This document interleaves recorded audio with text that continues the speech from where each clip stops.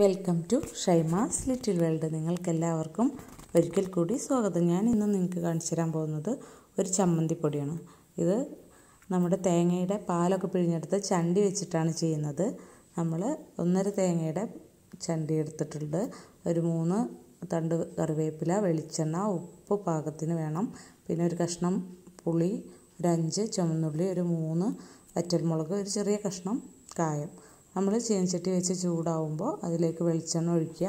എന്നിട്ട് നമ്മുടെ കായ ഇട്ടിട്ട് നന്നായിട്ടൊന്ന് മൂപ്പിച്ചെടുക്കണം. അപ്പോൾ കായ കായ മൂത്ത് വരുമ്പോഴാണ് നമ്മളതിലേക്ക് നമ്മളെടുത്ത് വെച്ചിട്ടുള്ള വെച്ചിട്ടുള്ള വറ്റൽമുളക് ചേർത്ത് കൊടുക്കുക. അപ്പോൾ ഞാൻ വറ്റമുളക് മൂന്നെണ്ണം ചേർത്തത് എന്താ വെച്ചാൽ എരിവ് കുറച്ചിട്ട് കുട്ടികൾക്ക് വേണ്ടിയിട്ടാണ് ഉണ്ടാക്കുന്നത്.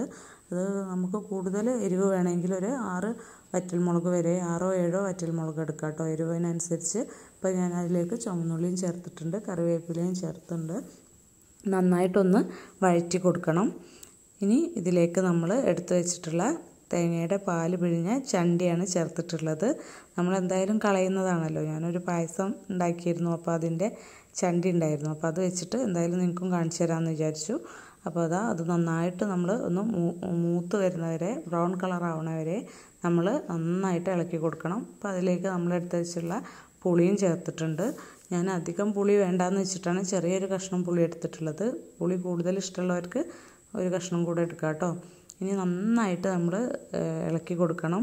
അടി കരിഞ്ഞു പോകണ്ട പിന്നെ വെളിച്ചെണ്ണ കുറച്ചുകൂടെ വേണമെങ്കിൽ ചേർക്കാം കേട്ടോ. ഇത് ഇതിൽ വെളിച്ചെണ്ണ ഇല്ലാത്തതുകൊണ്ട് നമ്മൾ പാൽ പിഴിഞ്ഞെടുത്തിട്ടുള്ളതാണല്ലോ അപ്പോൾ അത് ചൂടാറിയിട്ട് നമുക്ക് മിക്സിയുടെ ജാറിലിട്ടിട്ട് ഉപ്പും ചേർത്ത് പൊടിച്ചു കൊടുക്കാം അപ്പോൾ നമ്മുടെ ചമ്മന്തിപ്പൊടി നല്ല ഫൈനായിട്ടുള്ള പൗഡറാണ് അപ്പോൾ എല്ലാവരും ഉണ്ടാക്കി നോക്കുക. ഇഡ്ഡലിയുടെ കൂടെയും ദോശയുടെ കൂടെയൊക്കെ കഴിക്കാം.